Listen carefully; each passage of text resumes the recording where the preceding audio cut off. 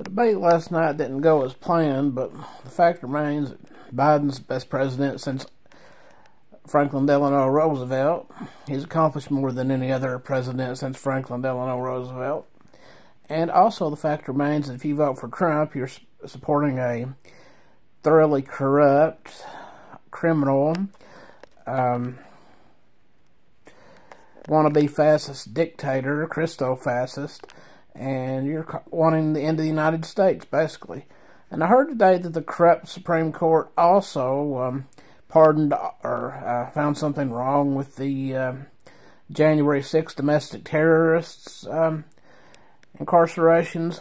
Well, you know, the Supreme Court we have now is thoroughly corrupt, um, anti-American people like Alito, um, his wife hanging up those um, anti, uh, yeah, her little fascist flags. You know, uh, these Christian nationalists, they're always like, oh, we want this country to be a Christian nationalist so everybody ain't no Christian can be our slaves and we can keep sticking our fingers up where, the suns don't shine and uh, rule over everybody. And we got the Project 2025 to outline our plan. Um, yeah, a bunch of Christian nationalists BS. So uh, basically, I'm going to keep supporting Biden because uh, he's a great president. You know, he has an off 90.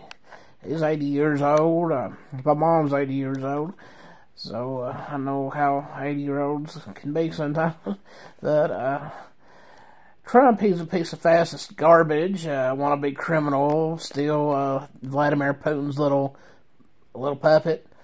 Um, and those January 6th defendants, or January 6th domestic terrorists, should definitely not be uh, given some kind of leniency by the United States Supreme Court. I was looking at some idiots uh, posts like John Talk 2 and um, Stand Your Ground America. Uh, they all suck. So uh, I'm going to keep supporting Biden. You keep keep supporting your fascist dictator. And if y'all win, hopefully I can find some way to escape what's going to be this um, America at its worst since 1692 in Salem, Massachusetts, to a better place like uh, Australia or Canada somehow. Well, over out. If you're one of those uh, corrupt Republican Christian nationalist people, um, well, probably better not say it on YouTube.